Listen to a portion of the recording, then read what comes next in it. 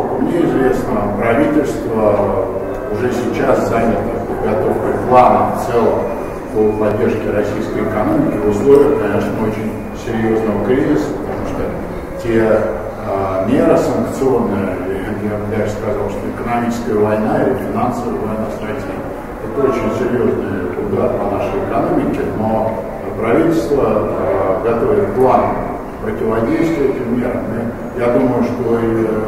следующей неделе э, мы продолжим рассматривать наиболее важные законопроекты, которые направлены на поддержку нашей экономики, на э, то, чтобы все социальные обязательства, которые есть у государства перед нашими гражданами, выполнялись, были выполнены в полном объеме.